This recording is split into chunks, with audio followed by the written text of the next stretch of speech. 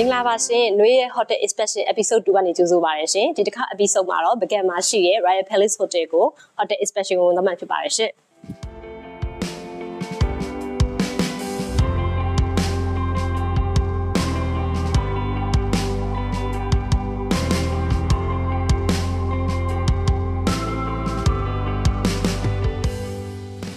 နှွေခု hotel ရဲ့ reception area ကိုခေါ်ပါပေးပါမယ်ရှင်။ ဒီ reception area ရဲ့ထူးခြားချက်ကလေးကဘာလဲဆိုလို့ရှိရင်ဒီတောက်လျှောက်ပေါ့နော်ဒီ area တစ်ခုစလုံးမှာဆိုလို့ရှိရင်အာမြန်မာမှုလက်ရာတွေကိုအများအပြားတွေ့ရမှာဖြစ်ပြီးတော့မြင်းခန့်မင်းသားတွေလည်းသူက decoration လေးတွေကိုစီစဉ်ပေးထားရပေါ့နော်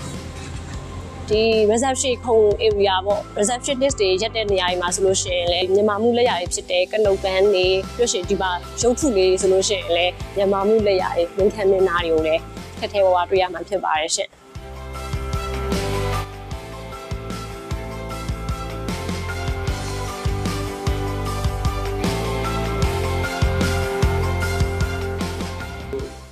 ဒီဟိုတယ်မှာအထက်အားဖြင့်၃ထပ်ရှိတယ်အခန်းအရေးအတွက်ကတော့စုစုပေါင်း136ခန်းရှိပါရရှင်အခန်းအမျိုးအစားကတော့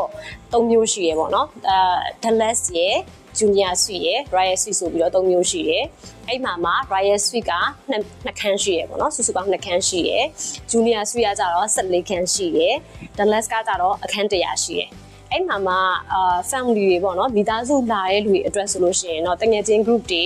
အဲမိသားစုတွေအတွက်ဆိုလို့ရှိရင်တော့ connecting room ရှိပါရဲ့ရှင် Dallas အမျိုးအစားမှာဆိုတော့နှစ်နှစ်မျိုးဆိုတော့စုစုပေါင်း၄ခန်းပေါ့နော်မိသားစုတွေအတွက်အဲ့လိုရှိပါရဲ့ရှင်။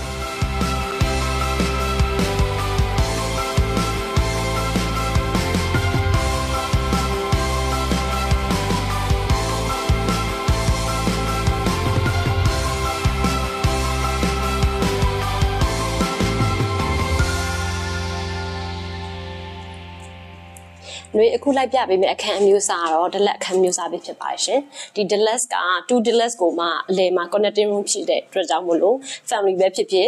တငယ်ချင်းတွေပဲဖြစ်ဖြစ်အတူတူအခန်းတွဲယူလို့ရပါတယ်ရှင်။တော့ကြည့်မယ်နော်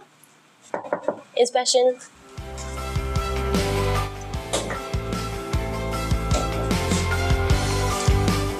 ဒီ Deluxe ကကြတော့ king size bed ပေါ့နော် king size bed double bed ဖြစ်တယ်ပြီးလို့ရှိရင်အခန်းရဲ့အကျယ်အဝန်းကလည်းအာနီးရန်ထက်ကလေးဖြစ်ပြီးတော့ space ကတတူသူ့ညာနဲ့သူပေါ့နော်တက်တောင့်တက်တာလည်းရှိတယ်အရန်လည်းမကျယ်ဘူးအရန်လည်းမကျယ်ဘူးဒီမှာဆိုရင်ကျယ်တဲ့ဟိုပေါ့မှန်လည်းရှိတဲ့ခါကျတော့ဟိုတုံးရတာလည်းအဆင်ပြေတယ်ပြီးပြီးမှဒီဘက်မှာတစ်ဖက်တစ်ချက်မှာ table length လည်းရှိတယ်ဒါဆိုလို့ရှိရင်ဒါ working desk ပေါ့နော်ထိုင်ပြီးတော့ကိုကဒီမှာအလုပ်လုပ်လို့လေးရတယ်အလှိုက်ပဲပြင်မယ်ဆိုလို့ရှိရင်လည်းပြင်လို့ရတယ်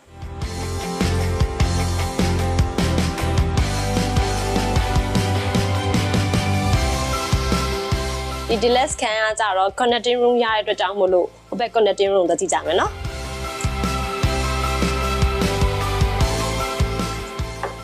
ဒီဘက်အခန်းကကြတော့ connecting က deluxe အခန်းမျိုးစားပဲဖြစ်တယ်ဘက်တိုက်ကတော့ပွဲသွားတယ် twin bed ဖြစ်သွားတယ်အဲ့ဒီတော့ဟိုဘက်မှာ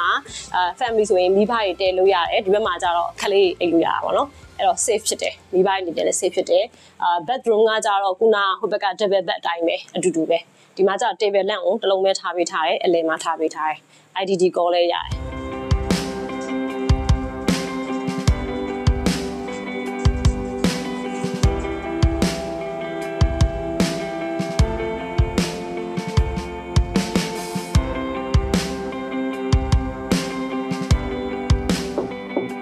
inspection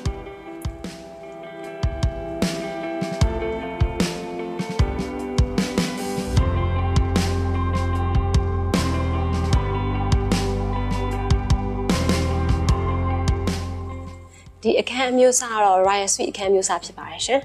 အဲ့တော့အခုဒီမှာဆိုလို့ရှိရင် Royal Suite အခန်းရဲ့ဒါ living room ပေါ့နော်အဲ living room area မှာဆိုရှင်မြန်မာမှုလက်ရာတွေ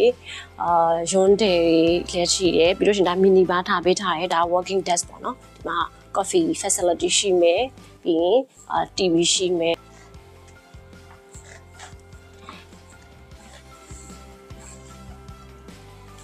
ဒါ king size bed king size bed ဆိုတော့ဒီ bed ကိုတော့ဒီပေါ်မှာတစ်ဆင့်ညှင့်ပေးထားတယ် table length ကတစ်ဖက်တစ်ချက်မှာရှိရယ်အော်ဒါဟုတ်ပြီ bedroom เนาะ okay ဒီဘက်မှာသာ tower ကြီးထားပေးထားတယ်ဒီမှာ basin နှစ်ခုရှိရယ် bathroom amenity ရှိရယ် အဲ့တော့ဒီ Royal Suite ကသူ့ရဲ့သူ့ရဲ့ထူးခြားချက်တွေကဘာလေးလဲဆိုလို့ရှိရင်တွေတို့ဒီအခန်းထဲပေါ့နော် Royal Suite အခန်းထဲဝင်ဝင်ချင်းမှာ living room အကျယ်ရှိရယ်ပြီးရှင်အလယ်မှာကျတော့ဒီအိတ်ခန်းပေါ့နော်အိတ်ခန်းရှိရယ်ဒီအိတ်ခန်းရဲ့ဟိုဘက်ပေါ့နော်ဟိုဘက်အစွန်မှာကျတော့ရေချိုကန်နေရှိရယ်ပေါ့နော်ရေချိုကန်အကျယ်ရှိရယ်ဆိုတော့ဒီအခန်းရဲ့ဖွဲ့စည်းပုံလေးနဲ့ဒီပုံစံလေးကိုကြည့်မယ်ဆိုလို့ရှိရင် အာဘယ်သူတွေနဲ့တင့်တော်လဲဆိုလို့ရှိရင်ကိုယ့်ရဲ့ VIP customer တွေအဲပြီးလို့ရှိရင်နောက်ခါကျ honeymooner တွေပေါ့နော် honeymooner တွေ anniversary trip တွေတမားတွေအတွက်ဆိုလို့ရှိရင်အရင်တင့်တော်ပါတယ်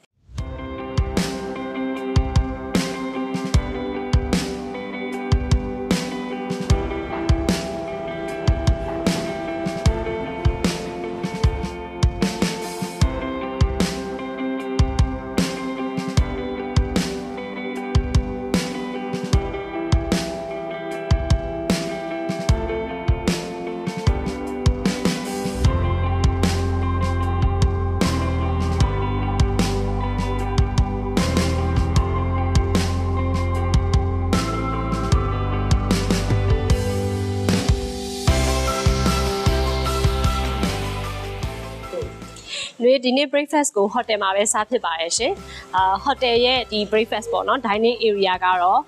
အာ hotel ရဲ့ဒုတိယတက်မှာရှိပါတယ်။ပုံမှန်ဒီ breakfast ကိုလူပေါ့နော်ဧည့်သည်များတဲ့အခါကြလို့ရှိရင် buffet ခင်းပေးပြီးတော့ဧည့်သည်နေတဲ့အခါကြလို့ရှိရင်တော့ a la carte menu ကိုစီစဉ်ပေးပါတယ်ရှင်။ dining area ရဲ့ရှေ့ဘက်မှာဆိုလို့ရှိရင် swimming pool ရှိပြီးတော့ breakfast စားရင်းနဲ့ pool view ကို enjoy လုပ်လို့ရပါတယ်ရှင်။